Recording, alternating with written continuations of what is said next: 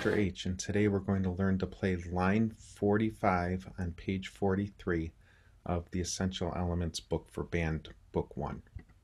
First we'll play this on my clarinet. I'm going to turn on my metronome. Go, ready and go.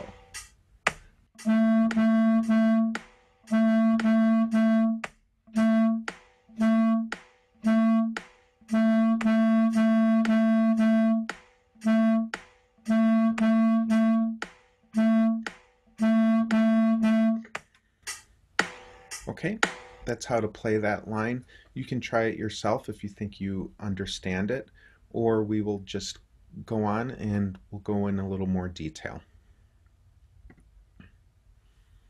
All right, when we're figuring out a rhythm, I like to tap it. And what that means is we're going to tap a beat, and my finger's going to go down and up, and it's going to keep a steady beat just like on the metronome. So I'm going to turn my metronome on and the tap would be just like the metronome, very steady with downs and ups. Down, up, down, up, down, up, down, up. And then each uh, note that you see or line that you would see here, the rest would be on a down and the note would be on the up. So we tap a beat and we say ta for the rhythm. If I see a note, I'm going to say ta, and if I see a rest, I'm going to say mm just to keep a place. One thing to warn you about right away is a lot of students have trouble with these two eighth notes right here. And what happens is they see these eighth notes and they think they go fast uh, because they're connected, but they don't go fast. Every one of these notes goes the same speed. So if I were to just do the first measure for you, it would be mm, ta, ta, ta, mm, ta, ta, ta. And the biggest mistake I see is people go like this. Mm, ta, ta, ta, mm, ta, ta, ta. So these are not fast notes. They're the same speed. Also, if we look over here, you'll see four notes uh, together. These are also eighth notes. They just have this one beam, uh, just like these have one beam so they're eighth notes, they go the same speed. So again, all of these notes are eighth notes and all of these notes will go the same speed.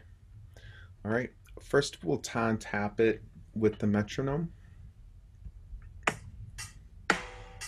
Ready and go. Mm ta ta ta. Mm ta ta ta. Mm ta mm ta mm ta mm ta ta ta ta ta mm ta mm ta. Ta ta mm ta mm ta ta ta. Okay. And we could do that again um, but but this time I'm just going to show you the downs and ups as it goes. So I won't tap my fingers but remember my tap is just like the metronome. Ready and go. Mm ta ta ta. Mm ta ta ta. Mm ta mm ta mm ta mm ta. Ta ta ta ta. Mm ta mm ta. Ta ta mm ta mm ta ta ta. Okay, um, so that's again how you would ton tap this. I did just notice that some of these aren't lined up exactly right. Sorry about that. Uh, we may have to fix that in another video in the future. Okay, so a lot of people also uh, do rhythms by counting and clapping. So we'll do that also, and this is great for percussionists, um, but a lot of people learn to count and clap as well. In this case, we are clapping the rhythm so we're clapping the notes and we are counting the beat. And my counting, again, is the same as the metronome. So I actually have a metronome that will count for me. Four. What I would do with one, my voice is two, do this and exact three, same and counting. Four and one and two and ready and go. Four and one and two and three and four and one and two and three and four and one and two and three and four and one and two and three and four and. One and two. Okay? Three. And if I tried that with my clarinet one more time, I'm going to turn my metronome on to count for me.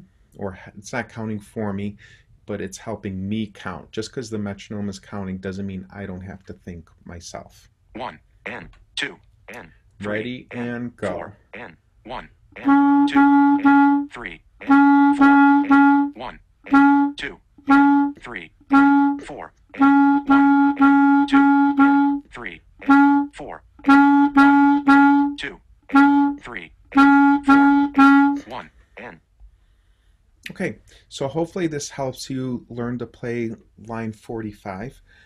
Uh, if you need more practice, you'll want to look at each measure individually and go slower even. Uh, even at this speed, it may be too fast. So there's nothing wrong with going slower and definitely practicing one measure at a time. Okay, see you next time.